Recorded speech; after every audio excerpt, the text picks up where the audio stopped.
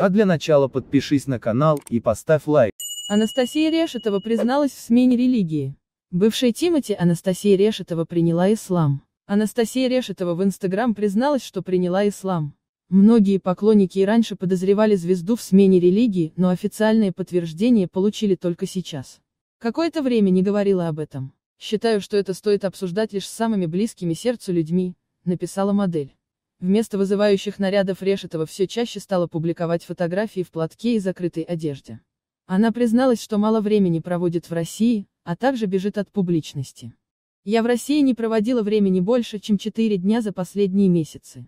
Честно устала от этой тяжелой энергии бесконечных сплетен от завистливых людей. Перегорела в общем, заключила Анастасия. Решетова добавила, что на данный момент ее сердце занято. До этого звезда встречалась с Тимати. Они воспитывают общего ребенка Ратмира. Большое спасибо за просмотр. Ставь лайк и подписывайся на канал.